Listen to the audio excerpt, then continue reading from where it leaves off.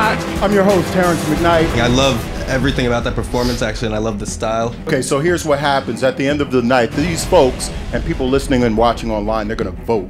Now, now, should you win, you're going to have to go up against the winners from the other boroughs, and then should you win that, you'll come back in here, give a full concert, and uh, we'll be looking for you.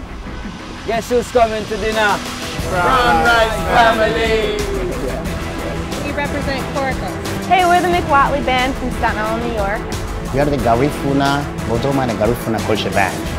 We're three-fifths of the Great Apes. We represent Brooklyn with our diversity. We're really there to have an experience together.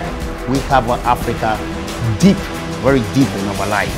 We're all from Staten Island. Born and raised. We basically want to spread like a disease. Put your hands together for the 2012 Battle of the Borough winners, representing Brooklyn, the Brown Rice Family. Big up, big up, big up.